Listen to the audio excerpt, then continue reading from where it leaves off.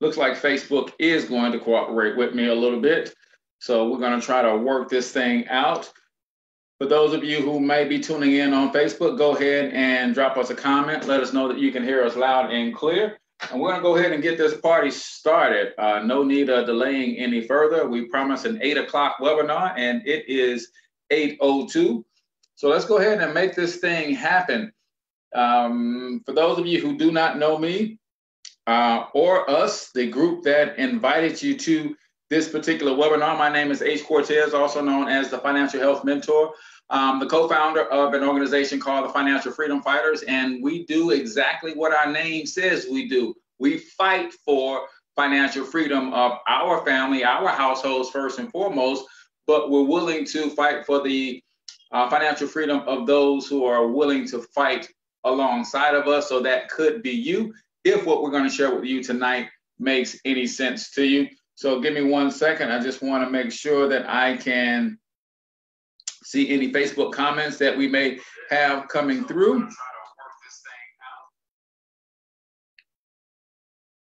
All right, so if you are serious about building generational wealth and you know you need a game plan, I want you to put game plan in the comments because that's what we're going to talk to you guys tonight about game plan.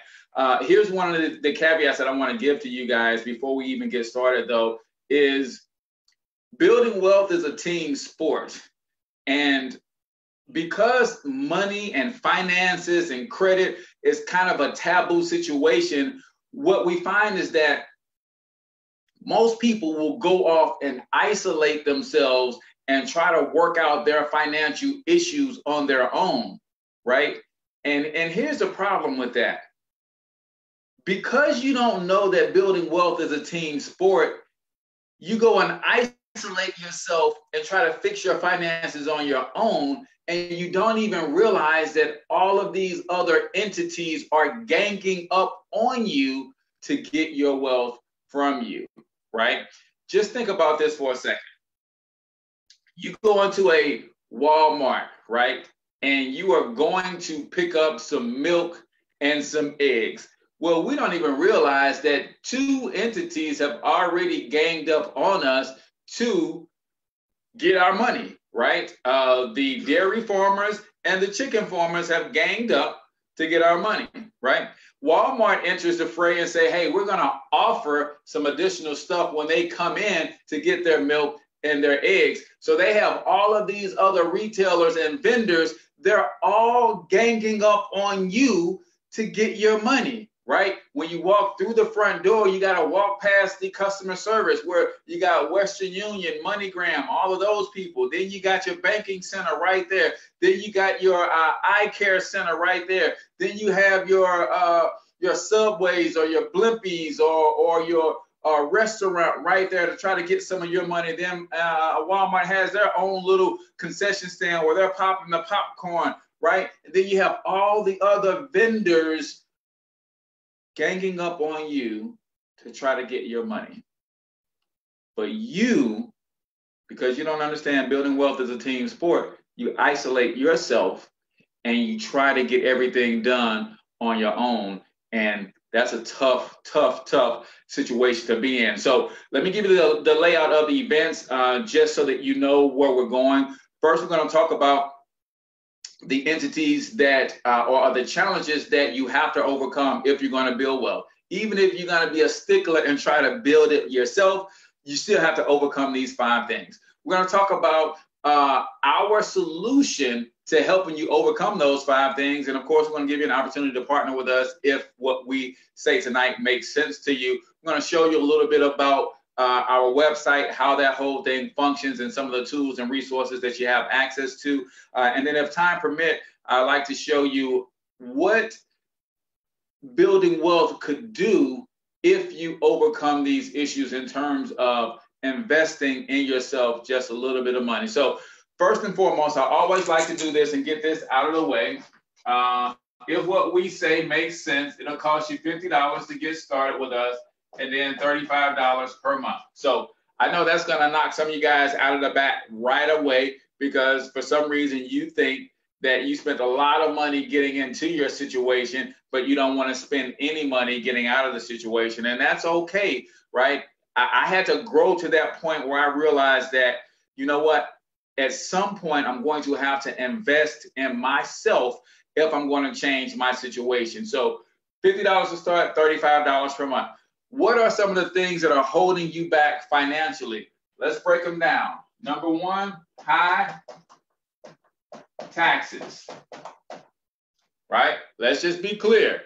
When you look at your paycheck, and a lot of you guys are working a lot of overtime and you don't realize that the more you work, the more they tax. Some of you guys have gone out and gotten a second job. And listen, don't get me wrong. This is not a job bashing presentation. I understand why you have a second job because no one taught you how to make the money from your first job work for you. Because Uncle Sam took 33% of your paycheck. You said, man, I got to make ends meet. So I'm going to go get me another part time job. I'm going to put in an extra 20, 30 hours a week, make some extra money. But then he's taking 33% of that paycheck as well. So you got to overcome high taxes. Number two, poor credit.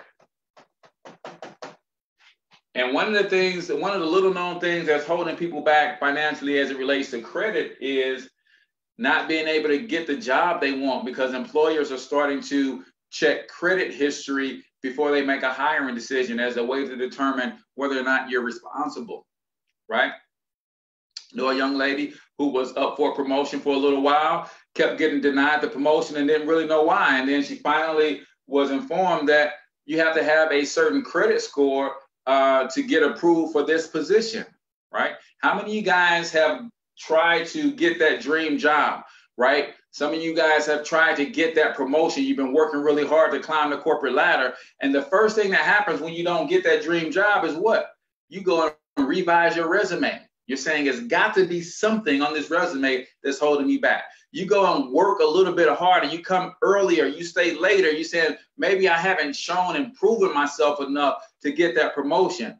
What if it's your credit that's keeping you back, right? What else do you have to overcome? You got to overcome debt.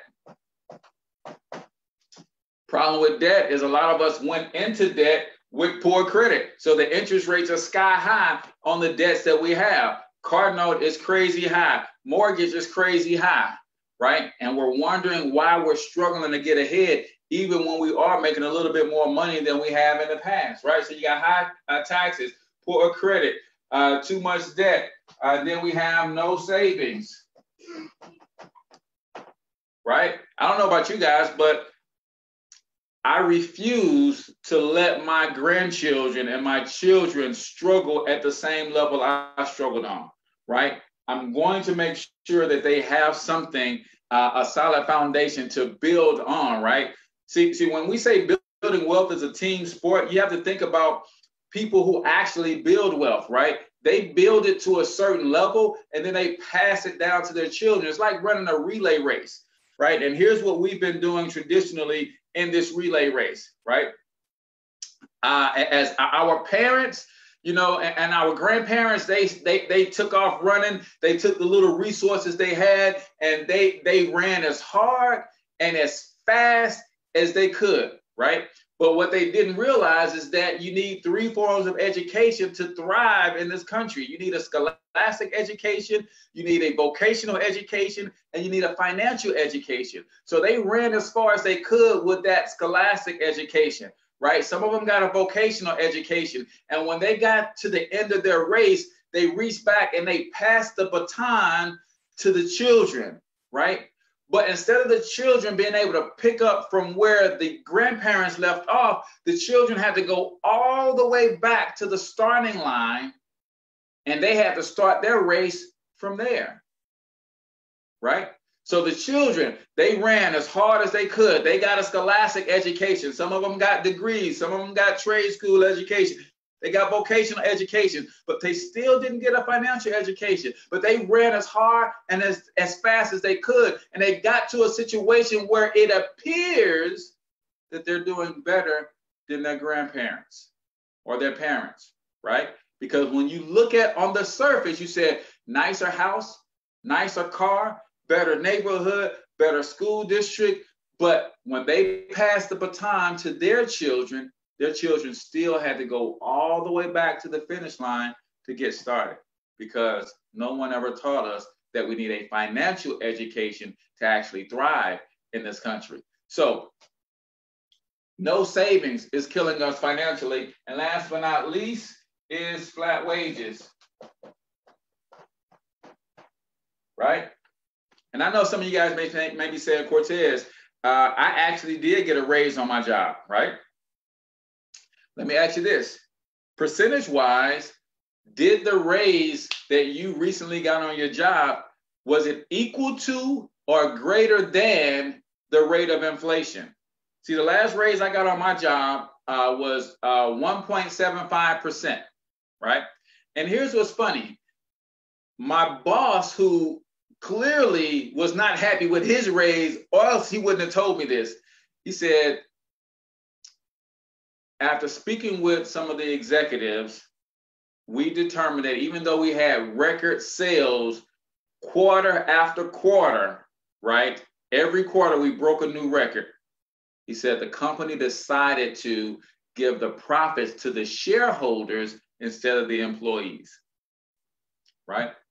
And it was at that point that I really realized that if I'm going to do what I want to do for my family, I can't continue to allow someone else have control over what they feel I'm worth, right? Because clearly my skill set is worth something because they're paying me something. And if they're worth their salt and gold as a company, then what I'm bringing to the table, they're probably making three, four, five times what I'm actually bringing to the table because that's just how capitalism works, right? So I have to start thinking, what if I took my talents like LeBron James and, and, and, away from corporate and started doing my own thing? What if I started trying to leverage all of my talents to bring all the money in myself instead of farming myself out to others? Right. So flat wages are killing us. But when we get that little cost of living increase, we think we're doing okay because we don't understand what inflation is doing. See, the cost of living doubles every 18 to 24 years. If you stay on the pace that you're on on your job, can you say without a shadow of a doubt, 20 years from now, you're going to make twice the amount of money that you're making today? See, we want to put all of this stuff in perspective, not to uh, uh, rain on your parade, so to speak, but to allow you to see uh, the writing on the wall, right? Pun intended, so that you can start making some adjustments today right? What are some of the adjustments that you can make? See, the company that I was able to get all of this information from It's called MyEcon. It's a personal financial success company. And what they determine is that if high taxes is one of the things that's hurting people financially, let's look at how one could approach that to overcome high taxes, right? See, what we have to understand that in America, how you make your money determines how you're taxed. See, 95%, 95% of Americans make 100% of their income through a job. Again, nothing wrong with a job. You got to put food on the table, right? Also known as a W 2. However, when you're making your money with a job or a W 2, you're going to be taxed at 28 to 33%. Right? If, on the other hand, more people start making money with a business, aka a 1099, then the tax uh, uh, ramifications of someone who makes their money this way is roughly 18 to 23%. See, right off the bat, you start seeing that there's something different between the people who make money with business and those who make money with labor. And then last but not least, you can choose to make money as an investor where you'll be taxed less than 15%, right? So our plan and what we are trying to teach as many people that will listen is how to systematically move from the situation where they're taxed the most to where they're taxed the least. And the best way to do that, believe it or not, I know a lot of people don't want to hear this, man. And, and I, I mean, it's, it's just true. The best way for you as an employee to find your way over here in the next two to five years, two to seven years, two to 10 years is to start a home based business. Now, this is usually the part of the presentation where everybody jump on offline. I watch my numbers on Facebook go from 40 to 10, right? Because people don't want to hear this. I, I know, Cortez, I don't have it in me to start a business. I don't know what to start a business around or about. And, and they come up with all sorts of valid, legitimate reasons not to. And I get it. Question is, how the heck, if you don't do anything different, when you get to the age where you no, no longer want to work, you're not physically able to work, or employers will no longer hire you, how are you going to maintain your lifestyle? So you got to do something different, even if doing something different is uncomfortable for you. So, what do we say? Here's why you start a home based business because remember those five things I wrote on the board? We said taxes, debt, credit, no savings or investments, and flat wages. Right? In order for us to overcome all five of these things in the most effective and efficient manner, the home based business is the best solution. Why? Because the first thing that you're going to do when you start a home based business, especially if you plug in with us, is you're going to adjust your form W 4, right? On your job, the W 4 form tells your employer how much money to withhold from your paycheck. So when you have a home based business, there's a section on that form that talks about whether or not you have a home based business. You're going to be able to now say, Yes, I do. As a result, anywhere from 200 to $600 per month will come back into your paycheck. Now, we just start to attack taxes over here just because we have a home-based business, right? Then we're going to take some of this tax savings and we're going to use a good portion of it to eliminate debt. Right? See, we're, we're able to efficiently affect all of these things just by having a home based business. Right? So now you're going to start eliminating some debt. Then, if you uh, uh, look at one of these other things over here, is at, at some point you might want to start to eliminate or minimize some expenses. One of the best ways to minimize expenses is to fix your credit. See, if you have less than a 700 credit score, then the interest rates that you're paying on the debt that you, uh, the money that you borrowed, that's the same money that you could be building generational wealth with. So if we help you get your credit score above 700 and then you can refinance your mortgage, uh, for instance, and that brings back an extra $200 to go with the $600 you brought back from taxes, do you think you can accelerate your debt elimination plan? If you refinance your car loan and your car loan went from 450 a month down to 250 a month, do you think you can use that extra $200 to pay on the principal on that same car and pay it off faster? See, a home based business can help you do all of those things, right? Here's the other reason that you have to have a home based business, right? Three reasons. Number one, there's something called pride of ownership, man. There's nothing like the feeling I get up when I, I, I have when I wake up in the morning, man, and it's twofold. One, it is the most exhilarating feeling in the world because I have my own thing going on, right? But then there's also a healthy fear that drives me. Why? Because if I don't work, I don't eat. See, some of you guys have a job and you can actually go into work tomorrow and you can uh, uh, uh, sit behind your desk and you can kind of fake like you're doing some work, right? You can kind of get by without doing a whole lot. Some of you guys can actually call off work tomorrow and you're still going to get paid because you have vacation time or, or sick time or whatever, right? Not me, I don't produce, we don't eat, right? But that's a good feeling because I'm taking my gifts and my talents and I'm using them to put, put food on my table. So that's that's exhilarating for me. The other reason is it is is high past the time that we show our children something different. I, I don't know if you guys agree or not, but we, we got to show our children something different, right? Come on. We are in the fourth, fifth, sixth generation of work a job as hard as you can, as long as you can, and cross your fingers when you get to retirement. That ain't working, y'all.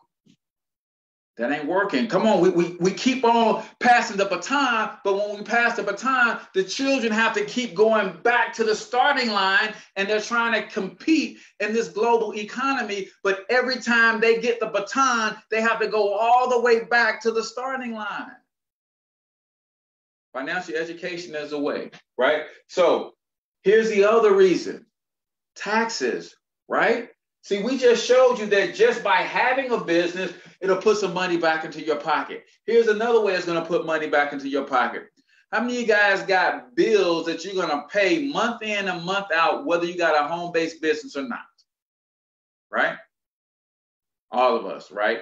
Cell phone, internet, cable, car notes, house notes, rent, mortgage, either one. Uh, you're going to pay for your kids. My son starts school tomorrow, senior. I've already looked at what it's going to cost me this year, right? Well, it's not really going to cost me. It's going to cost Uncle Sam, and I'm going to show you why. See, when you have a business that you run from your home, I'm actually in my home studio right now. So the electricity that powers my whole house also powers my home studio. So Uncle Sam says, hey, anytime you use a service for personal and for business, we'll let you write a portion of that same expense off, right? See, my light bill became a business expense when I started a business, right? So we're talking about cell phone, utilities, uh, internet, miles. Drive a lot. I drive my car a lot for business, right? Uh, kids' wages, right? See, I have a home based business, and my son will work in my business, and I'm going to pay him a salary. He's going to take that salary that I pay him, and he's going to pay for his senior dues. He's going to pay for his senior pictures. He's going to pay for his class ring. He's going to pay for his basketball shoes and uniform and all of that stuff. If he was in private school, he would even pay for private school. And guess what? I get to write all of that off. See, before I had a home based business, I would give them an allowance. It's the same money, y'all. It's the same money. But now I get to shift that money through my business into my son's pocket, and he takes care of his expenses, and I get to write it all off. Are you guys starting to get it? Starting to get the picture now? See, a home based business, no matter how big or how small, can put a tremendous amount of money back into your household. And if you know what to do with that money, you can build generational wealth starting with the paycheck that you're making right now. Right? So I'm gonna pay, I'm gonna start writing off all of the things that I'm spending money on right now. Travel, I didn't put travel on here. Right? We don't take family vacations, we take family business retreats. All of my family are uh, they're in, they're in my business in some capacity right? So even when we travel, we get to write off a lot of those expenses. That makes sense? Hopefully that's making sense to you guys, right? And then finally, we're doing all of this, which is called cash flow management. We're doing all of this. We're managing our cash flow differently because now we're thinking like entrepreneurs and not employees so that we can get out of debt, fix our credit, lower our taxes, and ultimately start putting all of our money over into some investments. So now, when we pass the baton to the children, they don't have to go all the way back to the finish, to the starting line. they can pick up right where we're leaving off, right? So a lot of people ask, well, Cortez, what do I invest in? Whatever floats your boat, man. Uh, think about it. There's only two reasons people don't invest. Number one, they're scared to death. And number two, they don't have the cash flow, or so they think. I just showed you how to free up the cash flow. We have investment education that will teach you the two things that you need to know most of all to start growing your money. That's terminology and perspective. We show you how to have the right perspective when you get the terminology down. See, the language of money is completely different. It has its own language. And, and that's for a reason because the they never teach you this language in school. Right? They never teach you this language. See, see, for instance, in school, they will teach you the word interest, but they'll teach it from the perspective of you paying compound interest on credit cards, you paying interest on loan or, or borrowing money, but they don't teach you interest for uh, uh, the interest on an investment where you're going to earn interest, right? They teach you what poor credit will t- do. They'll teach you about subprime, right? That means you are below the prime credit score that they would like to finance. So they'll teach you all about subprime, but they don't teach you about high yield. Well, Cortez, what's high yield? Well, these companies that we like to spend money with, they all borrow money and not all of them have the best credit scores. So when a company has a poor credit score, they pay higher interest rates too. They call it high yield. So if I put my money in a high yield investment, that means I'm loaning my money to a corporation who has a few blemishes on their credit score. And because they have those blemishes, they have to pay me back a high yield or a higher interest rate. You see, they, they never teach us this stuff in school.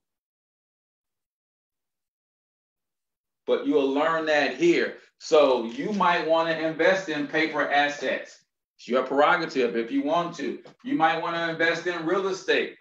I mean, more millionaires have been created in real estate than almost any other industry, right? Uh, you might want to invest in cryptocurrency. I don't know. You might want to invest in other traditional businesses like get to become a, an accredited investor and start investing in companies before they go public. Huh? Yeah. See, but you have to be under the right knowledge in order to make some of the moves that we all fantasize about making, right?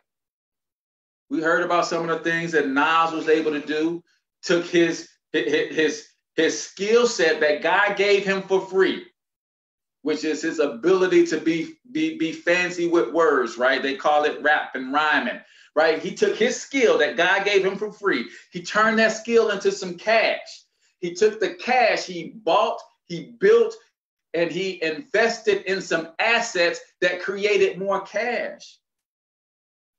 What I want all of y'all watching this today to know is that you got some skills that God gave you for free as well. You're taking those skills and you're turning them into cash on a job. But 95% of Americans are taking that cash and instead of buying, building, or investing in an asset, they take the cash and they turn it into trash. And it's not your fault. It's, it's you've been conditioned to do that. Right? We want to help you unlearn so you can relearn how to build generational wealth. Guys, $50 to get you started.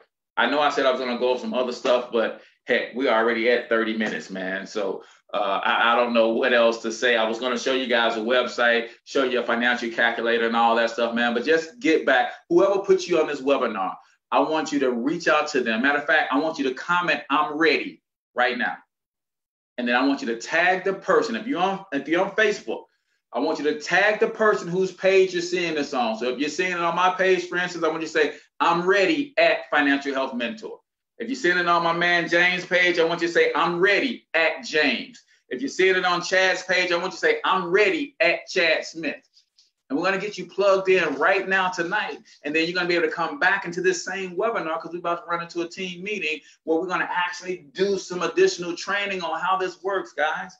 Last but not least, before we go, I want, I want you to, uh, to, to see this right here.